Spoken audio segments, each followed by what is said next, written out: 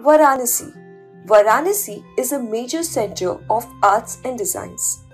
It is a produce of silk and brocades with gold and silver threadwork, carpet weaving, wooden toys, and bangles made of glass, ivory work, perfume, artistic brass, and copperware also has a variety of handicrafts. The cantonment graveyard of the British Raj is now the location of Varanasi's art and crafts. Silk weaving is the dominant industry in Varanasi. Weaving is typically done within the household, and most weavers are Momin Ansari Muslim. Many of them are working as weavers, dyers, sari finishers, and salespersons.